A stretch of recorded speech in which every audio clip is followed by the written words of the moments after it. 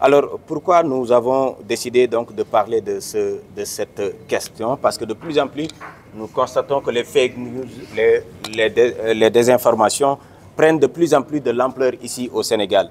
Parce que souvent, quand on parle de menaces contre la liberté de la presse, on pense automatiquement aux violences contre les professionnels des médias, que ce soit violences physiques, morales, ou bien même les nombreuses arrestations. Mais on oublie souvent ce qui est le plus important, par exemple la désinformation, parce que euh, pour moi, c'est la plus grande difficulté actuellement pour les acteurs des médias.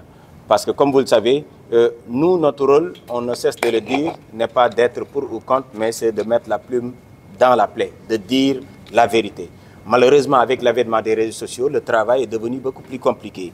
C'est pourquoi nous voulons demander ou bien inviter tous les confrères à envahir les réseaux sociaux.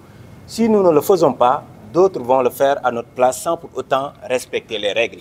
Nous tous à l'école, on nous a appris comment donner une information. Il y a d'abord la phase de collecte, la phase de traitement avant la diffusion. Et quand on parle de traitement, il y a ce qu'on appelle la vérification.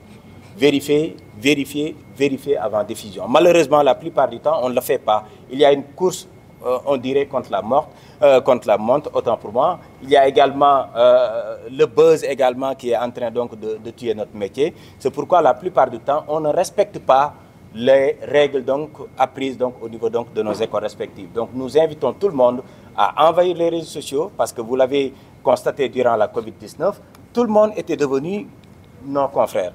Tout le monde donnait l'information en même temps que nous. Ce qui nous différencie de ceux qui sont euh, à travers les réseaux sociaux, c'est la vérification.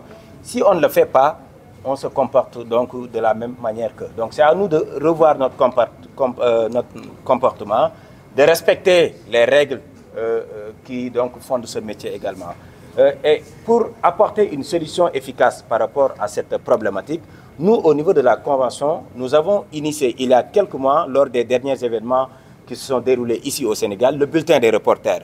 Le bulletin des reporters, ça nous permettait d'envoyer des reporters sur le terrain, d'aller au niveau des familles des victimes ou bien des victimes annoncées, de vérifier réellement s'il y a eu mort d'homme ou pas, avant de donner la bonne information. Et nous allons reconduire également ce bulletin-là durant la campagne électorale. Nous allons utiliser tous les reporters qui seront avec les candidats. Vous tous, certainement, vous serez sur le terrain pour accompagner les candidats à la présidentielle de 2025. Nous allons travailler avec vous pour lutter ensemble contre la désinformation, contre les fake news à travers ce bulletin des reporters.